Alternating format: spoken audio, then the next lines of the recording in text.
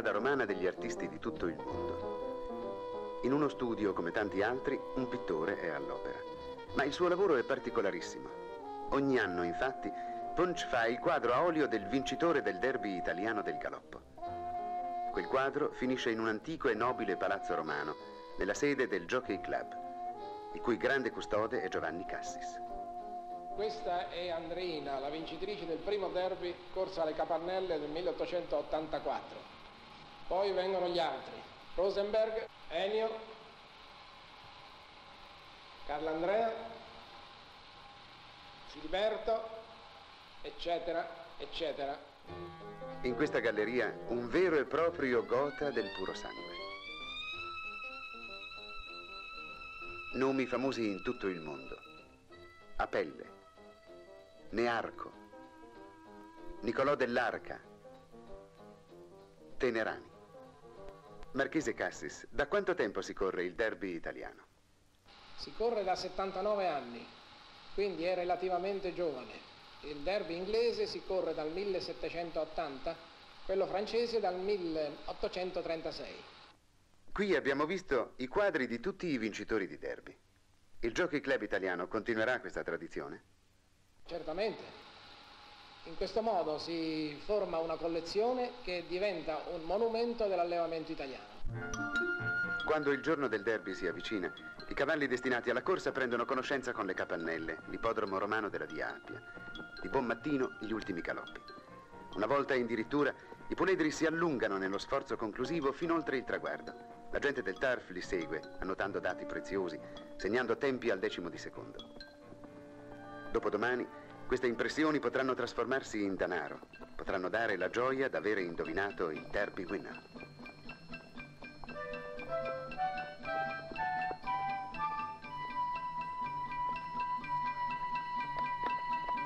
Il giorno della vigilia, l'ippodromo è come una giovane donna che si prepari alle nozze.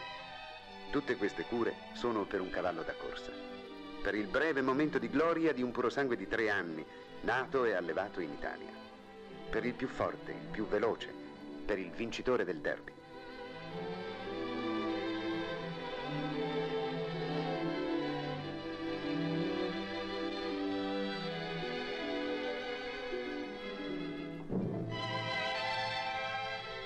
Ogni cavallo ha un proprietario e un allevatore.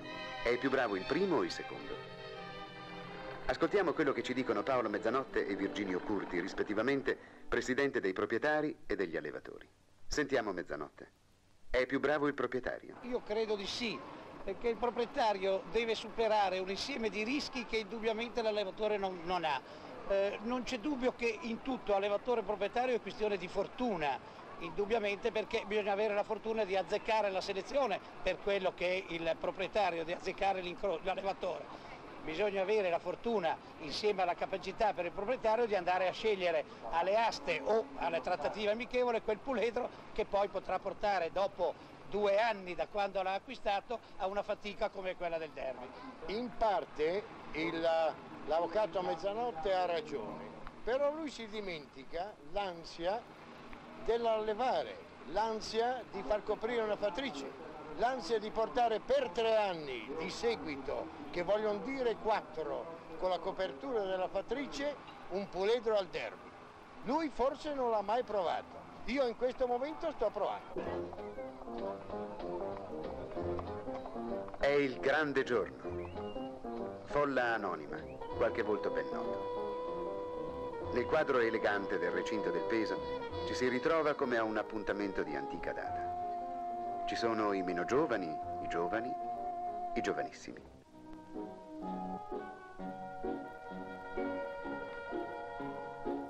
In contrasto col peso, la dilagante confusione del prato.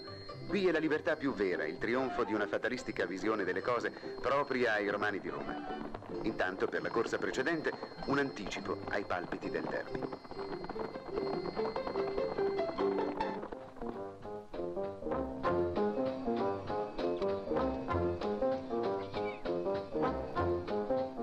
Sentire i maschietti delle borgate, tra queste gambe ci passerebbe un cane. Non c'è rispetto nemmeno per un jockey baronetto come Gordon Richards. Ed eccoli all'insellaggio. I cavalli del derby. Nel recinto elegante la folla non parla che di loro, dei meravigliosi, lucenti puledri del derby.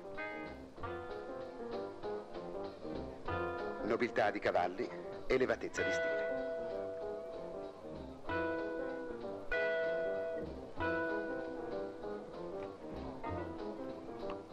Al prato, intanto, il motivo conduttore è sempre lo stesso. All'aria aperta, come in una festa pagana, la porchetta e il cannellino sono le divinità di turno.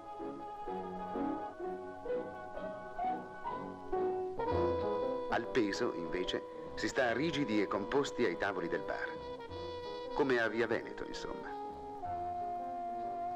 Questa signora deve averne visti di derby, di cavalli che sfilano nel paddock di presentazione prima di entrare in pista.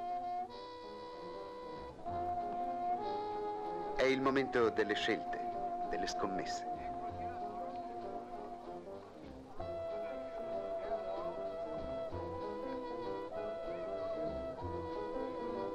A guardarli dall'alto, questi puledri sembrano tutti uguali. Invece uno solo vincerà. Sua sarà la gloria del più forte. La sfilata, la passerella. È il momento della vanità. Tutti i binocoli sono puntati su di loro, sui cavalli del derby.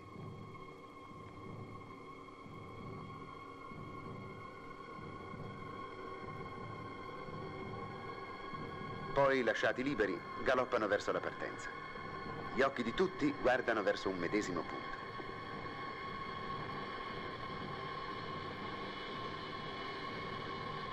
I commissari, arbitri e grandi sacerdoti delle corse non perdono un dettaglio. È il trionfo dei cannocchiali. Lo starter ha colto il momento giusto. Via, partiti. La grande galoppata comincia. Come Mercurio su un fondo levigato, il gruppo s'apre la strada sull'erba soffice della pista. Si lotta per restare al comando, si lotta per trovare la posizione migliore.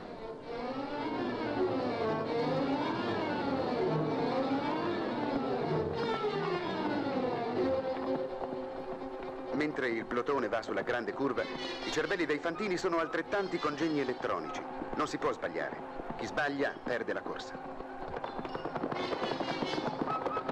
È il momento risolutivo. Uomini e cavalli si concentrano per l'attacco finale. La parola è alla frusta, poi passerà al cuore e ai garretti dei purosanti. Un puledro sta mostrando la sua superiorità. La sua giubba bianca crociata in rosso a Sant'Andrea è famosa in tutto il mondo. Più a largo, il nero violetto d'un'altra scuderia gloriosa. Si lotta per il primato della generazione. Il traguardo è quasi un miraggio per l'uomo e per il cavallo. Poi, gioioso come un annuncio di vittoria, si offre al più forte.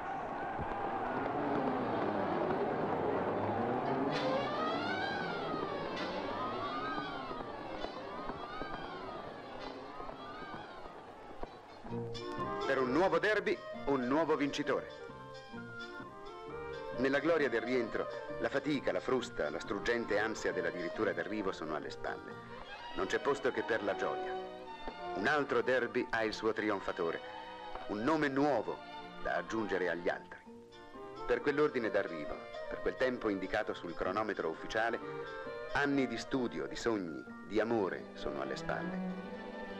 Quel vincitore di derby arriva da lontano, dal mondo immutabile come fuori del tempo dei grandi allevamenti.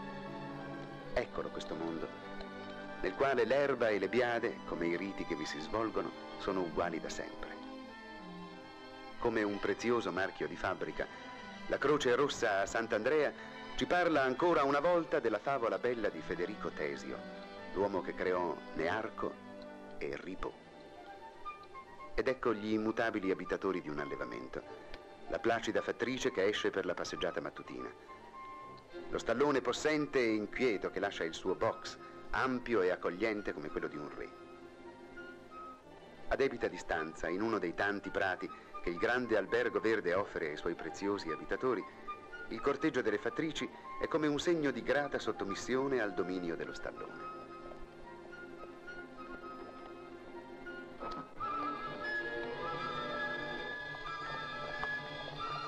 E lo stallone, come un signore rinascimentale, ama e sopporta le buffonate del suo giullare. Un cane che nel rispetto del luogo ha un suo pedigree di gran classe.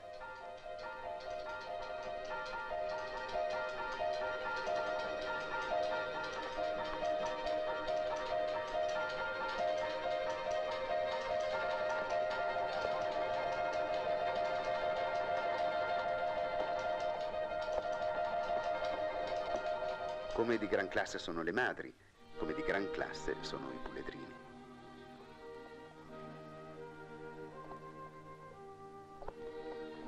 Da uno di questi puledri, in un giorno di maggio, uscirà un altro vincitore di derby. Per la gloria del libro d'oro, per la consacrazione di un ritratto a olio. Un altro derby è passato. Un altro derby verrà. Tra tutti quelli nati in Italia, un solo puledro ne sarà il vincitore. È la legge del derby, una legge spietata ma affascinante e conquistatrice.